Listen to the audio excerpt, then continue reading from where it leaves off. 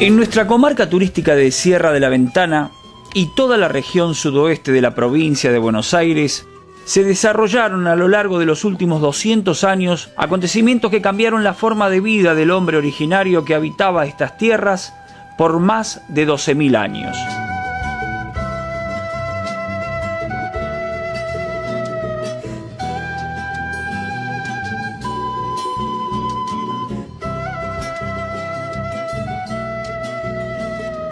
El avance de la conquista a partir de la llegada de los europeos modificó los hábitos y llevó a una transculturización total.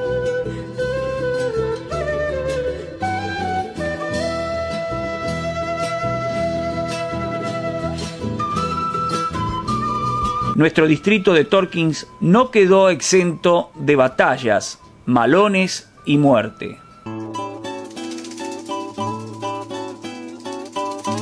Como prueba de esta parte reciente de la historia, se encuentran restos de fuertes, fortificaciones y réplicas como el Fortín Pavón de Saldungaray.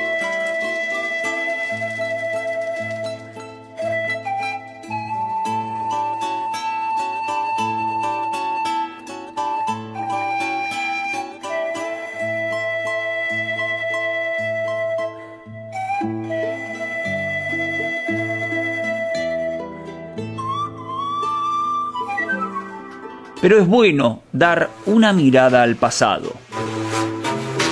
Desde 1520, cuando Magallanes llega a la Bahía Blanca, siempre se buscó revisar los lugares cercanos. Los originarios basaban su alimentación y economía en productos autóctonos, pero desde la fundación de Buenos Aires, la frontera se fue llevando cada vez más al sur.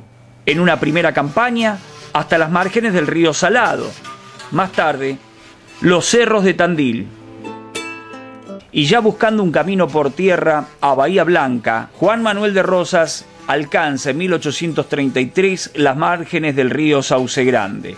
La vida del originario fue cambiando notablemente y la fuerza arrasadora de Calfucurá fue reclutando cuanta comunidad aborigen había en la zona para poder hacer su vida, arreando ganado hacia Chile para negociar y para su subsistencia. Los caciques bravos fueron claudicando y las fortificaciones se fueron sumando para brindar mejores posibilidades a los nuevos pobladores que llegaban en busca de nuevas tierras para la ganadería y posteriormente la agricultura. Entre las últimas fortificaciones que se construyeron en nuestra comarca a fines del siglo XIX encontramos el fuerte argentino, el Manuel Leo, el Ivanovsky, Nueva Roma, Sauce Corto y el Fuerte San Carlos, este último en el partido de Coronel Suárez.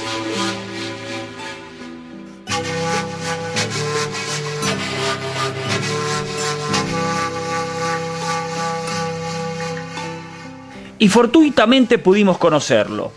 Diego Piso, prestador de servicios turísticos, nos acercó.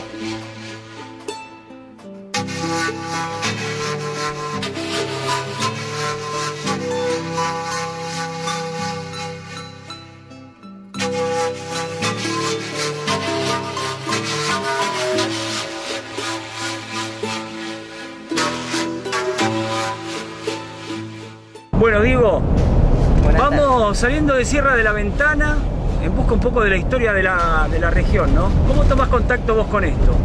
Eh, fue de casualidad, porque buscando lugares nuevos para hacer actividades con el tema de las bicicletas, eh, el gobierno de la ciudad de Buenos Aires, en los que son los eventos corporativos, eh, me llaman para ser parte de la página de ellos y veo justo que está la estancia Santa Ana también en la parte de eventos corporativos. Entonces dije, qué bueno buscar lugares nuevos y me encontré con una sorpresa que cuando llego a Santa Ana para empezar a desarrollar el tema de lo que son las salidas en bici y todo en esa zona, eh, bueno, un lugar recontra cargado con historia y bueno, y esto me llevó a que puedo desarrollar actividades con otro matiz, no solamente los físicos, sino que se lleven esto de la historia del lugar.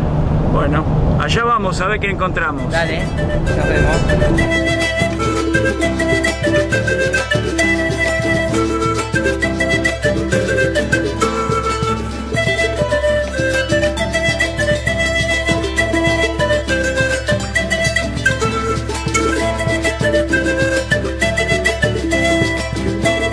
A 45 kilómetros de Sierra de la Ventana, dentro de la estancia Santa Ana, conocemos un lugar que parece detenido en el tiempo y que hoy el turismo puede recorrer y conocer.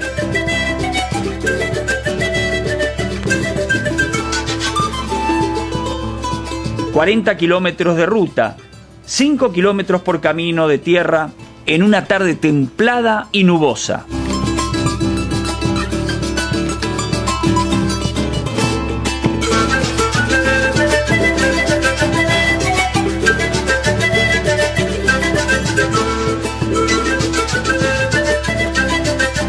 Construcción de la estancia Santa Ana se tiene como de las primeras de la zona, en la época del avance de la frontera entre 1870 y 1875, periodo de la construcción del centro de abastecimientos de alimentos y agua que obtenían del arroyo del Perdido, el Fuerte San Carlos.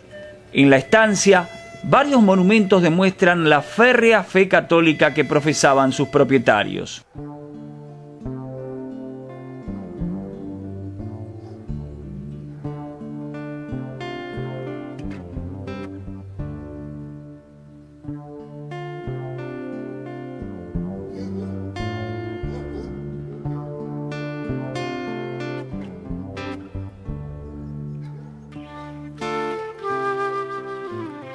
Una abundante plantación de miles de ejemplares de árboles y las aguas del arroyo son las características naturales que rodean al casco de Santa Ana.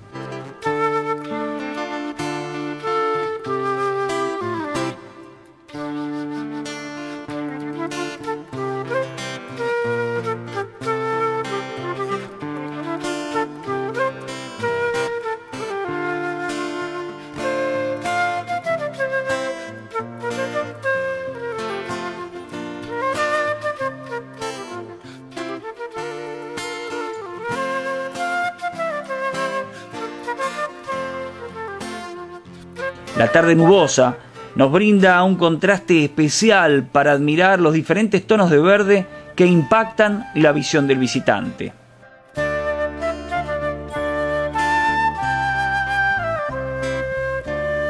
Pero el mayor impacto lo marcan los detalles que acompañan al centenario edificio de la casa principal.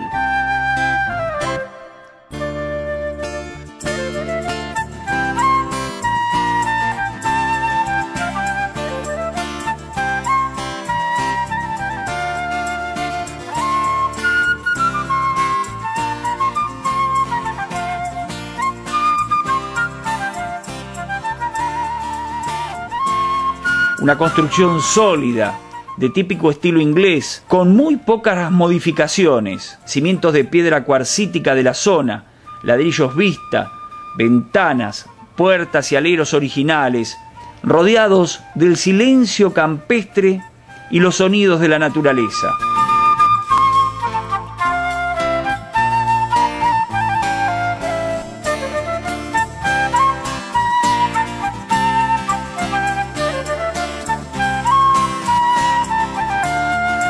Desde el bosque que rodea la casa de dos plantas, el canto de zorzales, jilgueros y corbatitas nos aclimatan a la historia de este hermoso lugar.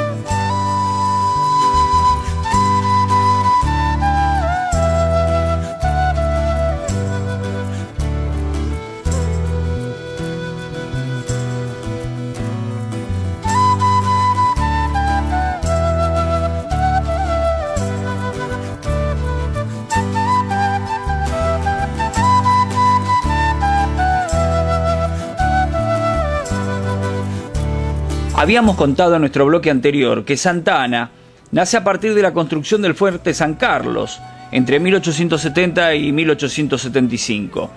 Fueron ingleses los que hicieron la plantación y los casi mil metros cuadrados del casco.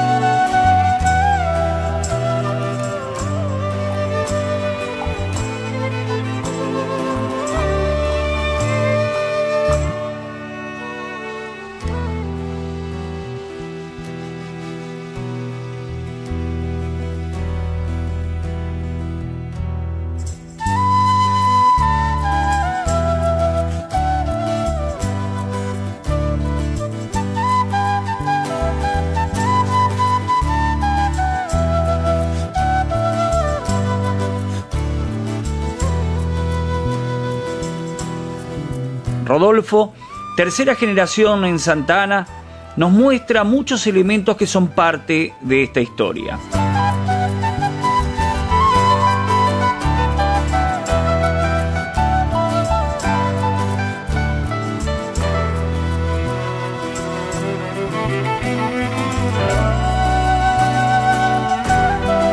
Te decía que la historia de acá la, conozco de, boca a boca, de haber escuchado muchas veces historias que, que, bueno, que sin mucha exactitud de fechas ni de, ni de acontecimientos las fui escuchando y algunas fui participando, alguna historia también, que hoy ya son algunas historias de antes.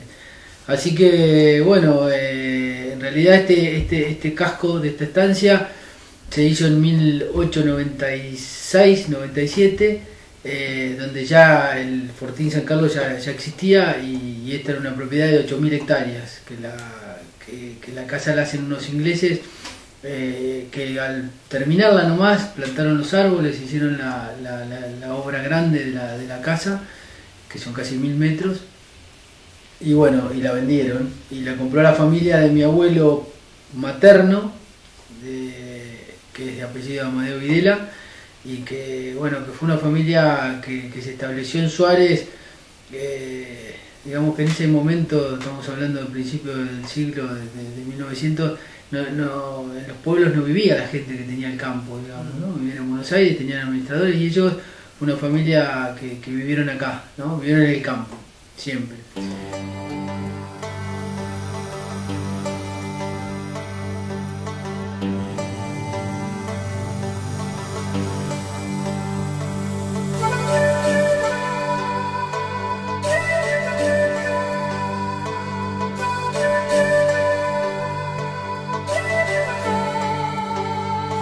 Con el trabajo en la tierra, el arado fue desenterrando vestigios del pasado, boleadoras, arrumbados revólveres, estribos, frenos, espuelas y botones de uniformes militares que se mezclan en los estantes con trofeos de polo que pertenecen al abuelo de Rodolfo. Todo esto y mucho más celosamente cuidados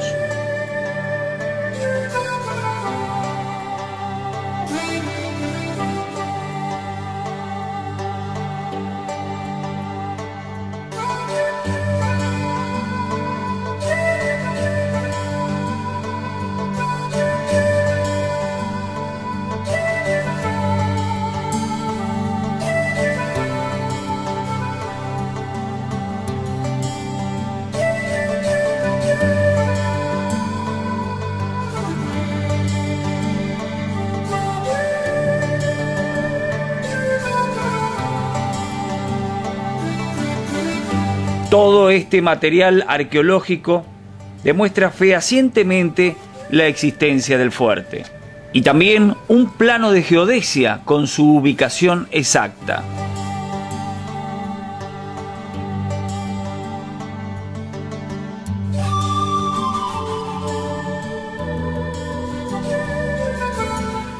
Casco tiene algunas mejoras que se fueron adaptando, tratamos de mantener el estilo, tratamos de mantener algunas cosas que para nosotros eran importantes. Eh, bueno, no pudieron pasar, pero por un tema de insectos estamos controlando. Mucha madera tiene y eso a veces eh, tiene este, este, tipo de cosas. Pero bueno, qué sé yo, los baños de arriba tienen azulejos hasta en el techo, ¿no? Entonces cuando tuvimos que romper, rompimos lo menos posible para modernizar los artefactos y algunas cuestiones eh, pero tratamos de mantener ese tipo de, cuestiones que son llamativas y que, la verdad que para nosotros siempre fueron lindas y, las tratamos de conservar. Las aberturas, eh, la historia dice que, esta casa se hizo, digamos, con ladrillos que se hicieron en, este lugar, en, ese momento eh, eligieron la mejor parte del campo. Hoy, hay una tecnología que se sabe muy, muy fácilmente que esto es lo mejor del campo, pero en ese momento, bueno, eran bastante vivos para elegirlo porque tenían que elegir los mejores lugares para que los árboles crezcan rápidamente, de hecho son árboles gigantescos los que hay, y además para hacer los ladrillos de buena calidad. Pero a la vez todas las aberturas y todo lo que es madera era de importado de Europa, ¿no? Eh, entonces eh, tiene una combinación, eh, después tiene detalles que se ve que eran de, esta gente inglesa que, que, todos los que son, ¿cómo se llama esto? Las manijas de las puertas, sí, son todos de barco, son redondas de barco, se ve que eran gente del mar, ¿no?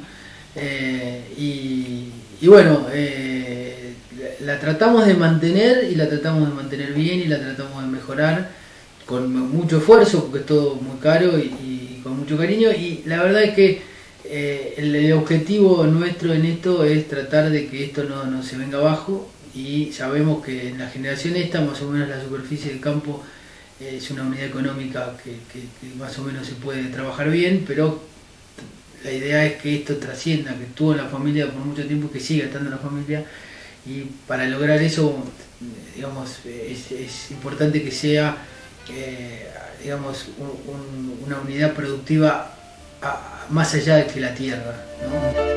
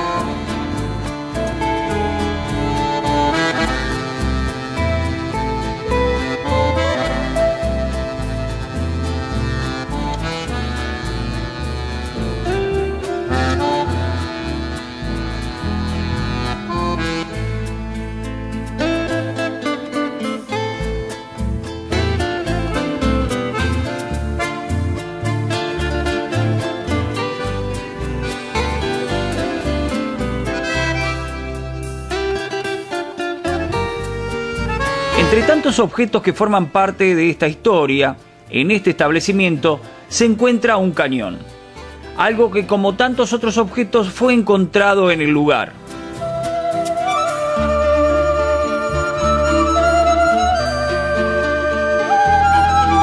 Los documentos fotográficos que exhibe Rodolfo nos muestra a los antiguos propietarios ingleses con el cañón y un par de balas del mismo en una foto tomada en el año 1890. La familia Amado Videla los conserva desde entonces. Otro emblema del fuerte San Carlos que fue desenterrado, como lo hacemos nosotros también con esta historia.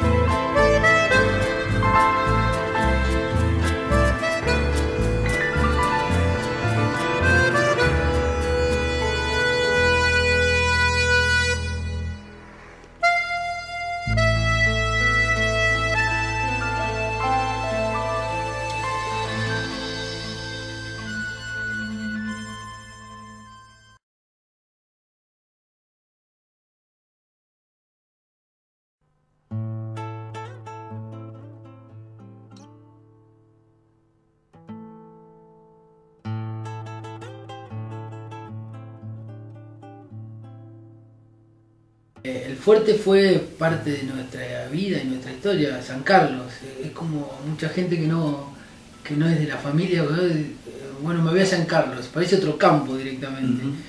San Carlos en la historia contemporánea mía fue un lugar donde vivió la gente que trabajaba en el campo, donde íbamos nosotros a tomar mate, a, agarrarnos una galleta para comer y, seguir a caballo, pero en realidad era un fortín donde donde siempre nos contaron que era un, fuerte de almacenamiento para guardar eh, comida y víveres y otras eh, cuestiones que, necesitaban los soldados eh, para encarar para, digamos, para donde tenían que pelear, ¿no? Acá no había pelea en realidad, eso no sabemos, sino que estaba un poco más adelante. Pero sí alrededor del fuerte se han encontrado miles de cosas que, que, bueno, que hoy hemos visto y que la verdad es que uno las ve naturalmente y cuando por ahí viene gente como ustedes que sabe del tema y que, está interesado, es como que las revalorizás, ¿no? Porque uh un botón, la verdad que había cosas que las vi colgadas en alguna pared que nunca le había llamado la atención y,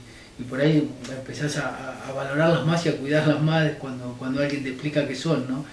Eh, todo ese tipo de cosas tienen una carga histórica, la verdad que eh, altísima y con esta visita de ustedes también un poco empezamos a preguntar a algunos parientes viejos que saben un poco más que nosotros y, bueno, nos contaron algunas cosas que, bueno, que está bueno saberlas y, que, obviamente si sabes algo más de todo esto estaría bueno también que lo, que lo, que lo sepamos nosotros.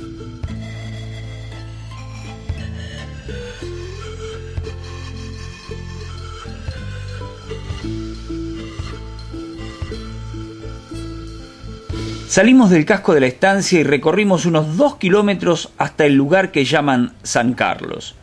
A primera vista, nadie destaca la construcción que en el lugar se ve.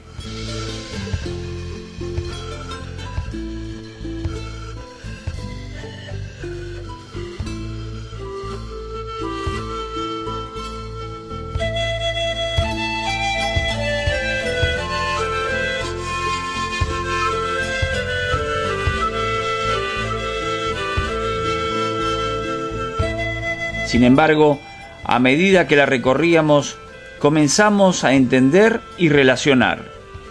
El campanario, las troneras, los aleros que rematan las aberturas, las fuertes puertas de madera dura con herrajes muy antiguos, pisos de ladrillo, todo ubicado sobre una meseta que domina la visión de los cerros del Curamalal.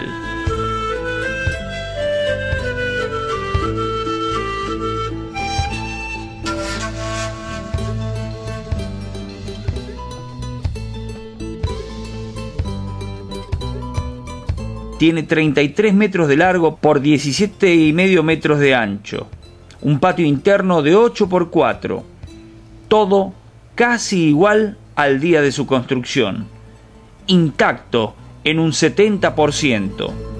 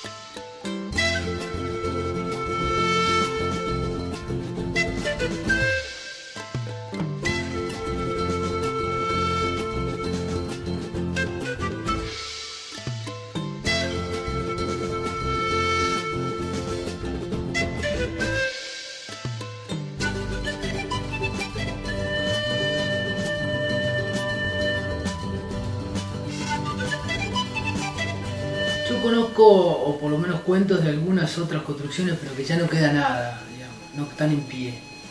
Lugares donde quedan restos o, marcas o cosas en los campos donde eh, me han dicho en, Dorminí, en el campo de un amigo, y acá era esto, acá era aquello. No conozco así cosas como esta que, todavía están, digamos, en pie, ¿no? Eh, en pie. La verdad es que, están medio eh, abandonadas, ¿no? pero, pero bueno, pero existen y, son reales. Sí, la verdad es que, a los turistas les gusta, les, gusta. Eh, nosotros cuando eh, vienen tenemos una recorrida que, le llamamos histórico-cultural, que en realidad lo llamamos el Cristo. O sea, eh, un poco unimos toda la historia desde eso, desde el Fortín hasta hoy. y, a la gente la verdad que le interesa mucho, le parece que, digamos, hay gente por ahí que, no está muy en contacto con el campo y pierde un poco la noción de, digamos, de lo que era ese momento. Nosotros que vivimos en el campo, eh, por ahí eh, entendemos un poco mejor cómo eran esas eh, grandes cabalgatas hacia la nada, porque no hacemos tantas distancias, pero sí las hacemos, entonces por ahí entendemos un poco mejor. la verdad que la gente se admira de, cómo, cómo, era esa época y qué pocos recursos había, ¿no? Y que era gente que realmente se la aguantaba, no eran... claro. Eh, así que sí, está dentro de, digamos, de lo, de lo que, de los atractivos que podemos tener en este lugar.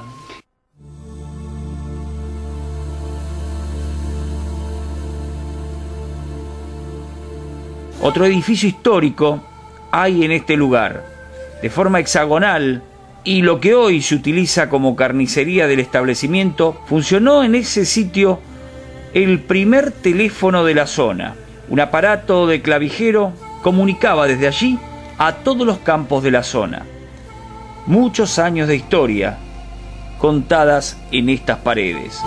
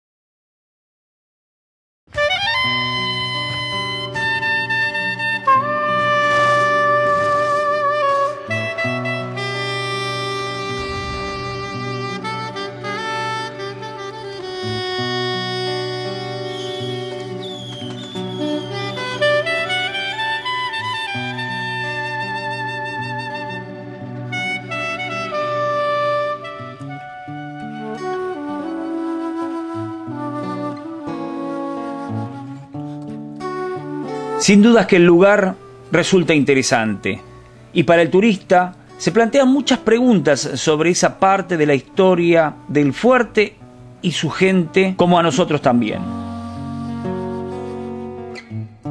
Tratamos de entender y observar cada detalle de la construcción que con el paso del tiempo fue siendo modificada, con revoques en algunos sectores, algunas aberturas que no son y no pertenecen a la construcción original, troneras o huecos en las paredes que se utilizaban para apoyar las armas y disparar hoy se encuentran tapadas.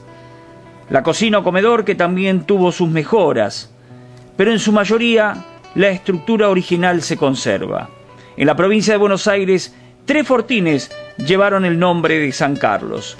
En la localidad de 25 de Mayo 1, San Carlos de Bolívar, y esta fortificación llamada Fuerte San Carlos.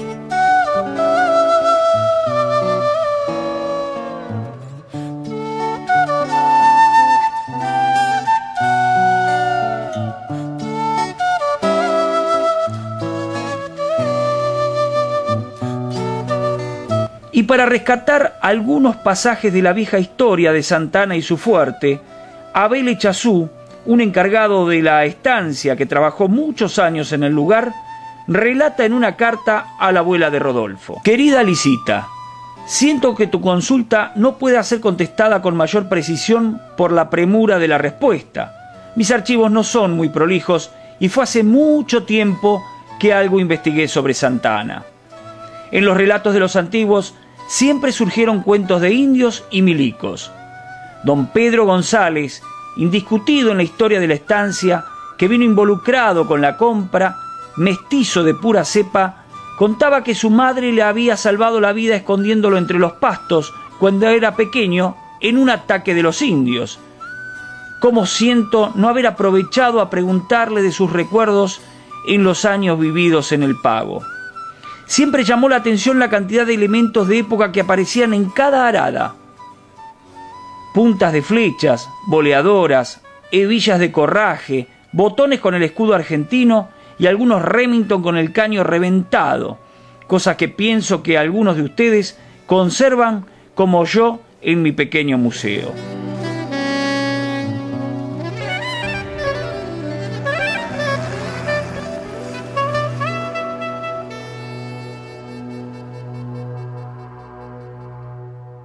La verdad es que, toda esa primera etapa yo mucho no, la conozco, sí conozco la etapa de mi abuelo materno que se escapó del colegio a los 16 años y se vino a vivir acá, a su campo, digamos, al campo de su madre, de su padre, eh, y no se fue hasta los 86, o sea, vivió 70 años de corridos, por supuesto eh, que era un hombre que viajaba mucho, que andaba por otros lugares y, tenía su casa en Suárez, un departamento en Buenos Aires, pero en realidad su casa era esta, vivió acá siempre.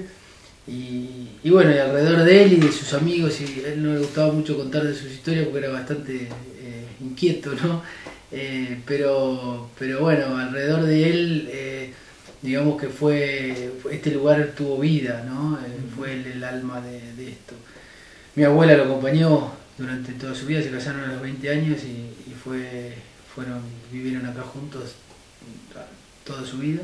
Cuando mamá recibe este campo decidimos tratar de, aprovechar todos los rincones y, entre los rincones que existía existía esta casa que le teníamos mucho cariño y no queríamos que termine con muchas estancias que hemos visto que por falta de, medios se terminan abandonando. Entonces encontramos eh, esta solución turística para, compartir con, la gente que, viene, que viene esto y, poder mantener el casco, digamos, sin grandes inconvenientes.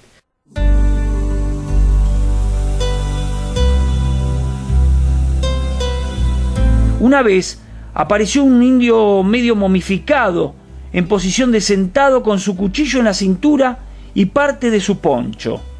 Creo que Josefina lo mandó a volver a enterrar cristianamente. Otra cosa que llamó la atención fue que por largos años, ante el hallazgo de pequeñas cerraduras, deducíamos que serían de burro u otras elucubraciones hasta que supimos que eran de tacos de las botas de los milicos, que con fuerza hacían sonar en los desfiles o zapateando un malambo. Con respecto a las construcciones de Santana, te puedo decir que la más vieja fue lo que es la administración en San Carlos, en la época del avance de la frontera, en 1870 a 1875. Durante años hubo una confusión, situando el fuerte General San Martín en el actual San Carlos de Santana y el fuerte Sauce Corto en el campamento sobre el arroyo Sauce Corto. Pero el encuentro de un plano archivado en el Departamento de Geodesia de la Ciudad de La Plata, aclaramos todo y el fuerte San Martín y Sauce Corto eran uno mismo, y que el San Carlos de Santa Ana era un centro de abastecimiento para los diversos fortines que rodeaban a equidistante distancia al mismo, que situado sobre el arroyo El Perdido, abastecía de agua y era provisto de un cañón que aún se conserva y que varias generaciones montamos como si fuera un potro. Por ahora, es lo que te puedo decir de mis recuerdos. Te prometo seguir con el tema.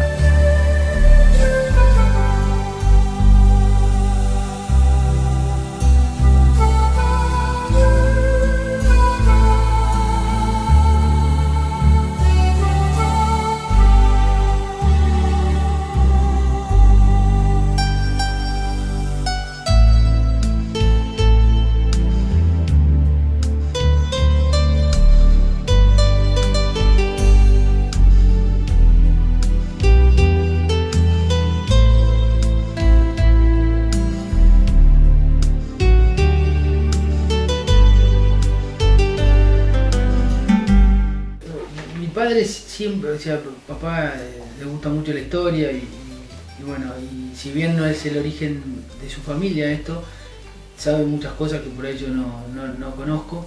Eh, me parece que, mm, lo que a mí me enseñó, yo soy agrónomo y no, no, tenía mucha idea de lo, que, de lo que era el turismo, pero a mí lo que me enseñó el turismo fue que hay un valor eh, intangible en cosas que no son eh, directamente ni bienes ni propiedades, sino que hay un valor de, información y de, historia que al, visitante le gusta mucho.